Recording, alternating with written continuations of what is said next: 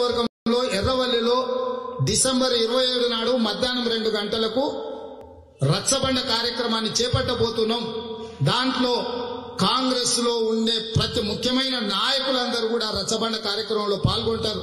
నేను స్వయంగా పిసిసి అధ్యక్షుడిగా రైతు సమస్యల మీద రాష్ట్ర కేంద్ర ప్రభుత్వాలను నిలదీయడానికి రైతుల చావులకు రైతుల కష్టాలకు కన్నీళ్ళకు కారణం రాష్ట్ర కేంద్ర ప్రభుత్వాలు నరేంద్ర మోడీ కేసీఆర్ గారు అని వాళ్ళకి వివరించి చెప్పడానికి రచ్చబండ కార్యక్రమంలో పాల్గొనబోతున్నాం.